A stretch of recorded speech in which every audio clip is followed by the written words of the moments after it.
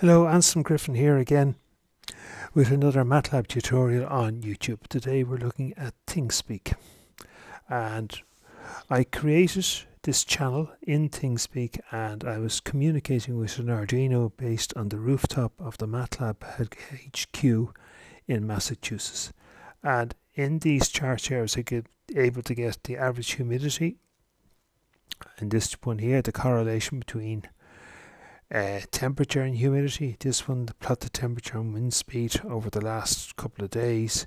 Here, a three-day uh, temperature comparison, and this here a gauge for humidity, low, medium, and high. So, I made out a PowerPoint presentation here to give us some idea of what we're trying to do. So, there we have it from. Um, ThingSpeak themselves. So you have MATLAB running here. You use ThingSpeak to communicate with the smart connected device. And that is an IoT, an Internet of Things device, in our case, an Arduino. You have met an IoT device already. Well, my students have, where the mouse is pointing, you've met this Nano, and you would have met that in the Robo Sumo, uh, which are relevant lecture. But we're using uh, an Arduino, but it's the same thing. Down here, there are some YouTube channels if you need to explore more. An API, what's that? An application programming interface. So nearly every web server, as part of that remote web server, would have an API. So the simplest example that I could come up with is there. So your laptop or your little uh, setup, um, you're booking clients in for you know an exercise session or whatever it is, and you want to create a Google Calendar event. So there is an API use between your computer, your web server, with the Google server to create a, an event with the given details.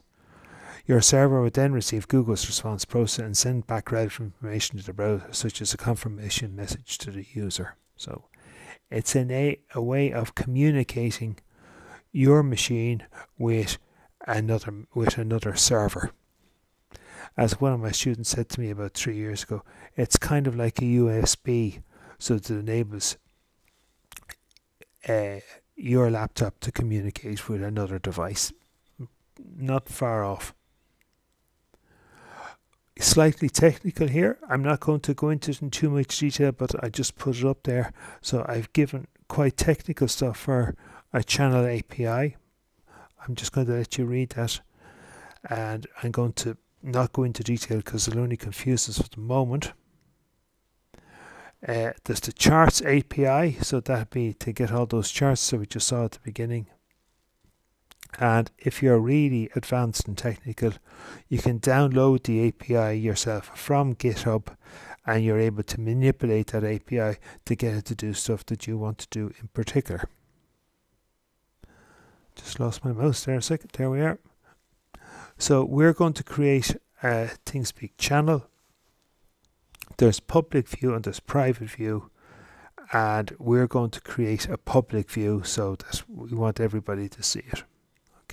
Private view obviously is private and only people that are given access to it are able to see what you created on your channel. So these are some of the uh, features that I have on the channel. So you can embed ThingSpeak plugins, drag drop organization. You can share via social network. So you can get thing, ThingSpeak to send tweets. So you could have a, a, a, Twitter account. You could access the Arduino or the Nano, and then you could send tweets from that. So say you were setting up a, a bird watching uh, camera, and there was some sort of motion sensor. So if the bird flew by, uh, the camera detect the motion sensor, then ThingSpeak would send that tweet out to your followers on the Twitter channel, and they would be able to see, you know, the update of the bird flying in feeding its young. So it's open source API, And as I said before, if you're very good at the programming, you can download it and play with it and all that sort of stuff. I've mentioned some of these before. There's Ting Tweet, Ting Tweet, excuse me, Talkback, so you're able to do a two-way talk with the device. You can put it to sleep, you can wake it up. So say again that aforementioned uh, bird watching camera, you wouldn't want it on all the time uh, because you know the battery would drain. So you might be able to turn it off, say from 12 at night to 3 in the morning or whatever it is, and you might be able to turn it on and off in the middle of the day. And plugins, which we're, we're going to see a plug-in in a while, uh, that's the gauge, so you're able to do that. And fortunately, you if you're doing it from scratch, you'd need to be able to program in HTML, HTML hypertext markup language, CSS cascading style sheets, and JavaScript. JavaScript, apologies, stumbling, but it's very simple. You just have to copy and paste the code, and that's all you have to do. You don't have to write or understand what you're doing for the plugins. So the aims and objectives, as we saw at the very beginning, we want to create a channel and get these four charts up and then get that Google gauge up. The aim is to talk to an IoT, communicate, and there's the objectives, write code collect and analyze. And then our visualizations, visualizations will look on the right. Okay, so starting up, if you haven't got MATLAB, you can install MATLAB on your own machine. And this is for TU Dublin students. And I've set up the link there and off you go. Uh, you would want to allow yourself anywhere between 20 minutes and 2 hours to install MATLAB. It can take a while. So, especially if the Wi Fi connection is slow and you may or may not have to reboot the machine two or three times. So, you know, worst case scenario, two hours. Now, if you don't want to go to all that trouble, you can just create a MathWorks account and you would put in your Technological University Dublin uh, email address. And because we have a license agreement with MATLAB, that'll do. So either of those, uh, you then sign up for a ThingSpeak account, and because you've already signed up for a MATLAB account, there'll be no problem there. Uh, there's the instructions of how to you set up a channel set up the three fields there as described humidity temperature dew point. Uh, over here uh, make public.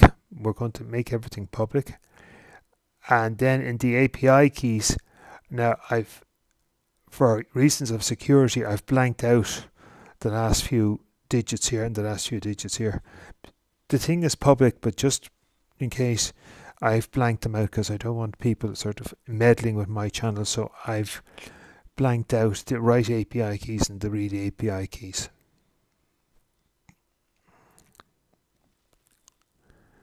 So, so we want to do the average humidity so if you click on MATLAB analysis, there we are, where it's with the highlighter in yellow, then go down to there, calculate and display average humidity.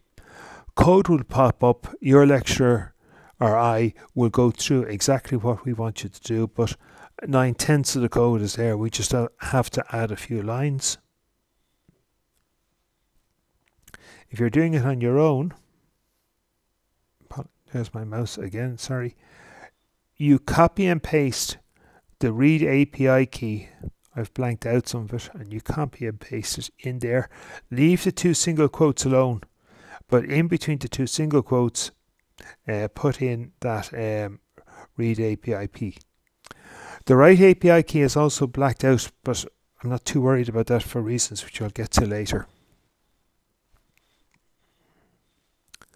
Now, for the other graphs that I want you to do, um, you do them the same as before. I've given the links there.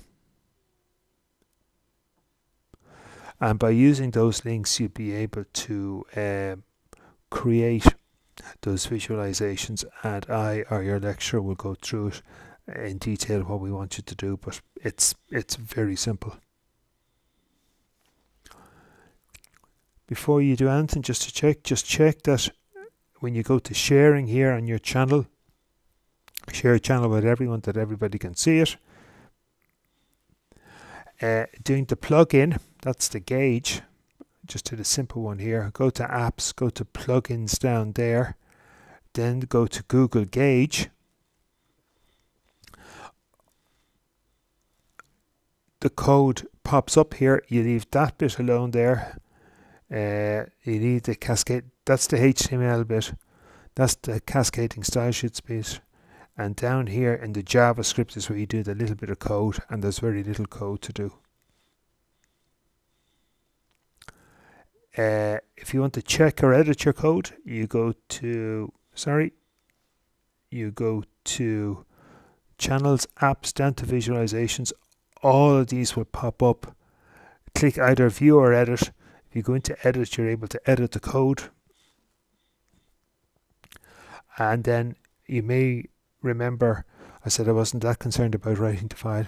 If you're using the student version of MATLAB, the amount of code you can write to file, the amount of data you can write to file is quite limited. And when I was running it, I was running into uh, limitations about the amount of code I could write and I was getting errors. So at the moment, I've ignored writing the file. Okay, so I hope that helps and thanks very much for listening.